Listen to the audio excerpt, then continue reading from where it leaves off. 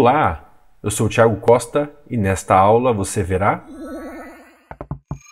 como relacionar os dados de desigualdade e do SAEB, as possibilidades de interpretação desses dados, os impactos da desigualdade de cor-raça nas médias.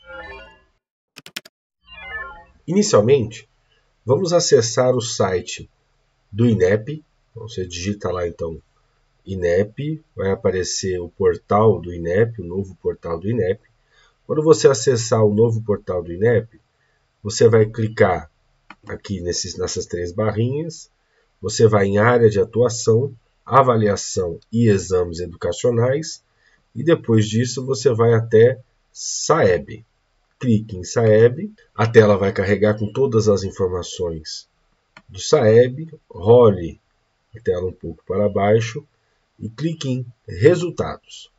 Nós teremos resultados de todos os anos de aplicação do SAEB e o que nós queremos aqui são as planilhas de resultados do Brasil, estados e município. Clique sobre elas para que elas, né, para que elas possam ser baixadas. Após você baixar então a planilha de resultados do INEP, nós vamos acessar o site do Kiedu, né, o novo novo.kiedu.org.br. Acesse ele, vai em gestão, e aqui em gestão a gente vai em planilhas públicas. O que nós queremos é fazer uma relação então com uma dessas planilhas e os resultados do SAEB. Então nós vamos aqui em desigualdades ligadas a cor e raça. Nós vamos pegar logo a primeira, que aparece relacionada ao quinto ano. Vamos manter matemática ali, que é o que nós estamos visualizando, mas ele vai baixar todas as planilhas. Então vamos acessar esses dados primeiro e depois de acessá-los, nós vamos exportar em XLSX, o famoso arquivo do Excel. Clique para baixar e aí depois nós vamos relacionar as duas bases. Bom, depois de baixar os dados, nós vamos olhar primeiro para os resultados do SAEB. Nós temos três planilhas, como é possível visualizar. Nós temos para o Brasil, os resultados do Brasil, os resultados dos estados e dos municípios. Nós vamos focar aqui no, nos resultados dos estados. Primeiro, nós vamos realizar um filtro. Né? A primeira linha ela tem o nome das, das variáveis. Então, nós vamos realizar um filtro, porque como a gente não tem clareza qual foi o filtro realizado na, na tabela de desigualdades, nós vamos ficar com as escolas públicas, tanto federal, estadual como municipais, e também vamos olhar para o total em relação à localização, tanto urbana como rural. Então nós vamos realizar aqui um filtro. E esse filtro, o que nós queremos é deixar somente os dados que nos interessam. Então, aqui em relação à dependência, nós vamos manter somente a dependência municipal, estadual, federal, estadual e municipal. E em relação à localização, vamos manter o total.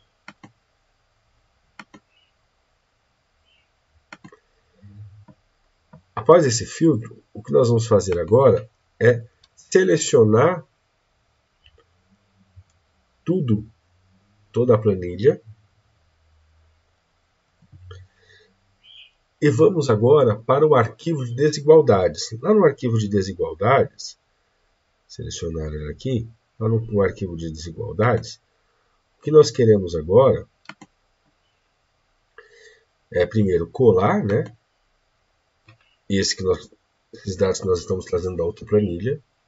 E observe, nós temos aqui as médias não somente de matemática, mas de língua portuguesa também. Aqui só como forma de capturar melhor, de fazer uma análise um pouco menor, vamos observar só matemática. Mas é possível também observar a língua portuguesa e fazer um, uma relação entre as duas. Lembrando que as duas não estão na mesma escala. Então, obviamente que existe uma correlação muito forte, mas elas não são a mesma escala. Então aqui nós vamos tirar, retirar tudo que esteja relacionado com matemática e que não seja matemática do quinto ano. Isso é importante também. Então nós vamos ficar somente com matemática e os níveis do quinto ano. Então tudo que não venha a ser matemática, a gente vai retirar e a mesma coisa vai acontecer com os níveis. Então vai ficar, vão ficar somente os níveis que nos interessam, então os níveis do quinto ano. E o restante todos nós vamos retirá-los, porque nesse momento não nos interessa. Obviamente, como eu disse, é possível fazer, mas aqui a gente vai retirar. Outra coisa importante também, como nós vamos usar o PROC-V, é importante que o nome, e vai ser feito pelo nome, é importante que o nome é, esteja no, como, como primeiro, né, como primeira coluna. Então vamos acrescentar uma coluna aqui na frente. E perceba que a gente já tem agora uma primeira, uma primeira coluna com os nomes dos estados. Nós vamos utilizá-los para relacionar com os níveis de desigualdade. Em relação à planilha de desigualdade, nós também temos aqui dados relacionados à língua portuguesa. Então nós vamos retirá-los também, porque nós não queremos fazer essa análise com eles agora. Então vamos retirar esse. Nós temos aqui baixo NSE de matemática. Baixo a diferença em relação baixo NSE de língua portuguesa, que nós também não queremos analisar agora. Alto NSE, e aí agora a diferença, e aí a diferença em língua portuguesa. Vamos retirar. Então nós temos agora somente os dados que estão relacionados à matemática.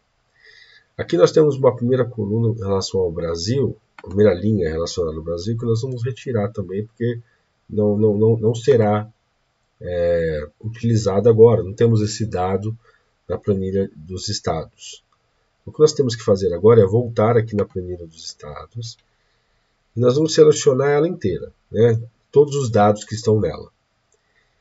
E aqui, onde está escrito A1 na caixa de nome, nós vamos dar um nome a essa planilha para facilitar. Vamos colocar aqui Saeb e apertar Enter. Então, todas as vezes agora que a gente chamar o Saeb ali na caixa de nome, ele vai selecionar esses dados. Nós queremos agora, então, é trazer algumas informações para cá. Quais são essas informações?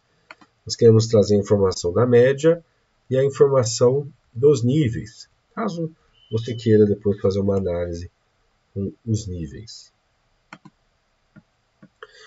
Eu selecionei, só para ficar claro, eu selecionei o nome das variáveis para facilitar. Então eu vou colocar aqui, como nós temos duas variáveis aqui em cima, eu vou colocar aqui na segunda linha o nome das variáveis. Por quê? Na primeira linha o que eu quero é colocar a posição de cada uma delas. Então nós temos a primeira coluna, a segunda, a terceira, a quarta e a quinta. Então os dados que nós queremos começam a partir da quinta coluna. Então vamos colocar aqui 5, 6, 7. Vamos selecionar todos eles e vamos arrastar para que ele fique com a quantidade que nós precisamos para chamá-los com o PROC-V. Bom, feito isso, o que nós vamos fazer agora então é de fato a função. Então vamos aqui fazer igual PROC-V. Aqui abrimos o parênteses. Nós queremos o quê? Nós queremos selecionar primeiro o valor que nós estamos procurando naquela planilha. Então será o nome aqui do estado. Ponto e vírgula. Onde nós vamos procurar esse nome? Nós vamos procurar o nome na Saeb, na planilha Saeb, que nós já selecionamos. Ponto e vírgula novamente. E qual que é o valor que nós vamos trazer? Qual que é a referência que a gente... Qual o índice né, da coluna que a gente, nós queremos trazer? Que será esse de cima. Nós já sabemos que estão relacionados. Ponto e vírgula, falso. A gente não quer que ele tenha uma correspondência aproximada. Né? que a correspondência seja exata. Feito isso, fechamos o parênteses, apertamos aqui então o Enter e nós obtivemos aqui a medida de proficiência. Que é importante a gente fazer alguns, algumas análises aqui. Primeiro, a gente não quer que o primeiro valor se desloque pela coluna.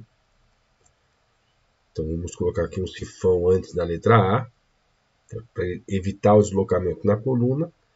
E vamos colocar um sifão aqui no L1 aqui, entre antes da linha, da, da, do valor, antes do número.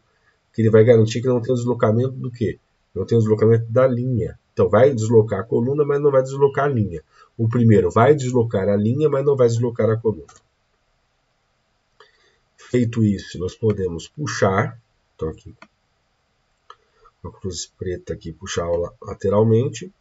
Obtivemos então os níveis, e a partir disso a gente pode dar um duplo clique, e aí a gente obtém todas as medidas de todos os estados. O que nós temos agora, então, é a medida de todos os estados, né, relacionada à, à média de proficiência e também aos níveis. Só para facilitar, eu vou agora selecionar, colar valor por cima, só para que não fique arrastando essa fórmula o tempo inteiro. Seria, não seria legal, né? Então, para não ficar arrastando essa fórmula o tempo todo, aconteceu alguma coisa que ele deslocou para o lado. Eu vou aqui só selecionar, cortar, colar por cima. Pronto. Isso, está correto. Então, feito isso, o que nós temos agora é a relação entre a planilha lá de desigualdade, onde nós temos uma variável aqui, né, a primeira relacionada à diferença percentual no aprendizado adequado, no quinto ano, matemática baixo nível socioeconômico. Nós vamos ter também a diferença do alto nível socioeconômico. E também nós temos a diferença percentual no geral, na aprendizagem geral. Aqui, a gente pode fazer algumas análises agora. Né? Então, por exemplo, observar o que acontece quando a gente faz um, uma ordenação em relação ao percentual geral. Se a gente fosse observar só o percentual geral, o que, que acontece quando a gente ordena? Antes disso, eu vou acrescentar aqui umas três linhas aqui em cima, que é onde nós vamos querer fazer algumas análises. Então, vamos pensar o seguinte. Se a gente selecionasse aqui a planilha como um todo, e nós queremos ordenar, fazendo uma ordenação personalizada, do primeiro geral. Então, o que nós queremos com ele? Nós queremos que nós, que a gente observe do menor percentual para o maior percentual. Então vamos pensar assim, olha, é o menor percentual de diferença entre os dois para o maior percentual de diferença entre os dois, entre uh, brancos e negros. Então nós temos aqui ó, os estados que têm o menor percentual em relação aos estados que têm o maior percentual de diferença. Como forma exploratória, o que nós poderíamos observar, por exemplo, nesse caso, era o que acontece com a média, ou a, a média aqui, obviamente, só considerando o valor do estado em si, né? Mas vamos pensar o que acontece com a média das cinco primeiras, então dessas superiores aqui, das cinco primeiras que estão localizadas em a, a, aquelas que têm a, o percentual menor de diferença percentual, né, a menor diferença percentual, e o que acontece com as cinco que apresentam a maior diferença percentual em relação à média de matemática. Então, vamos observar o que acontece. Então, eu fiz aqui igual à média, e vou selecionar a média então das 5. Vou pegar 5. Nós temos a média de 217.18 e vamos fazer a mesma coisa Porém, agora para a média das 5 que estão no final ali, né? Deixa eu só deslocar para o lado aqui. Então, vamos pegar essas, a média das 5 aqui. Então, o que nós temos é uma, uma diferença muito pequena, uma diferença quase irrisória em relação a quem está aqui no, no geral. Agora, se a gente fizesse a mesma coisa, porém, mantendo agora para o nível mais baixo, para o nível socioeconômico mais baixo. Então vamos arrastar aqui, vou fazer um, uma seleção, vou copiar e vou colocar aqui no geral, porém geral mais baixo. E aqui eu só vou acertar agora. Vou fazer acertar aqui, porque eu quero que ela fique ela permaneça na média. Observar o seguinte. Então, olha só. Nós fizemos isso. Agora, antes de eu fazer a ordenação, eu vou colar aqui valor, só para que a gente depois saiba né, que o valor aqui, que é essa fórmula, não mudou, não variou. Então, o que a gente quer que varie é essa daqui, não aquela. Então, vamos selecionar novamente tudo. E o que nós queremos agora é mudar o filtro, é, fazer, é mudar a ordenação. Agora o geral não é mais esse primeiro geral, e sim o segundo geral. Então a gente quer que tenha menor para maior. E observa, a diferença agora ela fica bem maior. A diferença agora é de 11, praticamente 11 pontos né, na escala Saeb. 11 pontos é algo em torno aí de um ano de escolarização.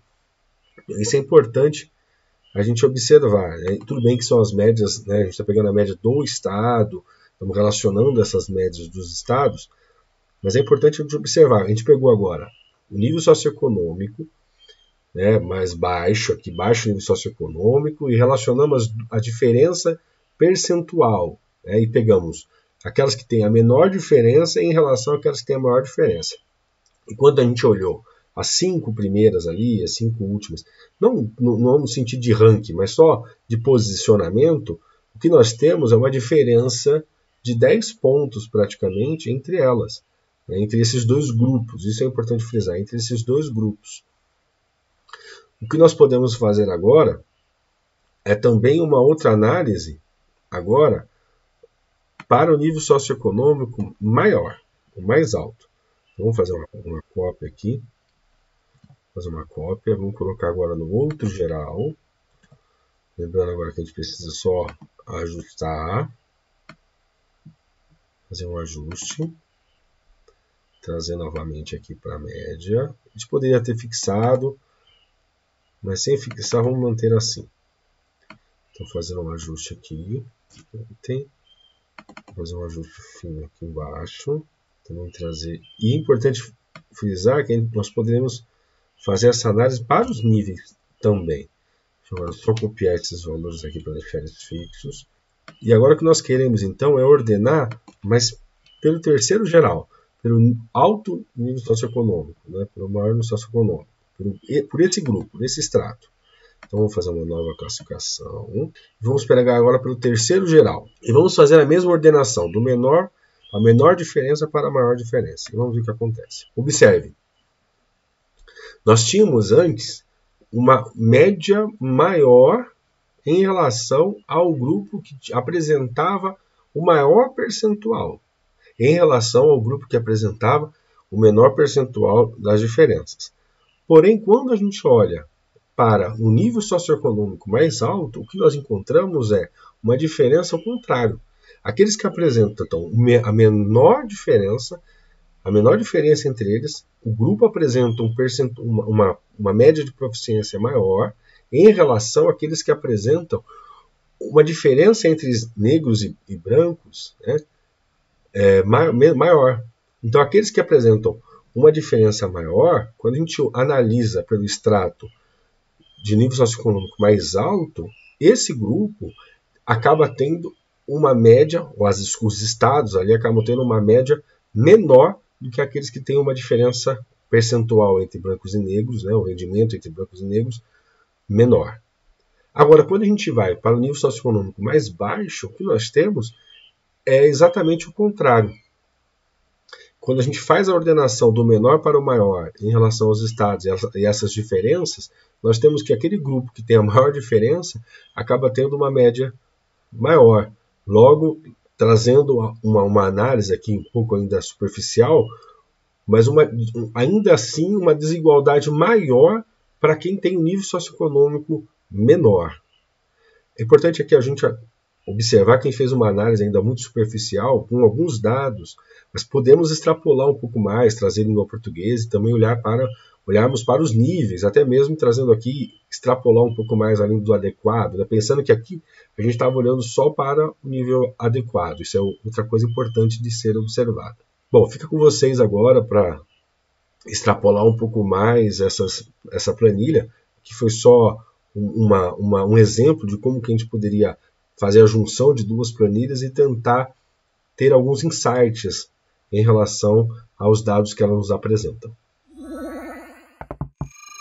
Nessa aula você viu como acessar e relacionar dados disponíveis no Kiedu e INEP, como organizar e relacionar bases de dados e os impactos da desigualdade de cor-raça nas médias do Saeb.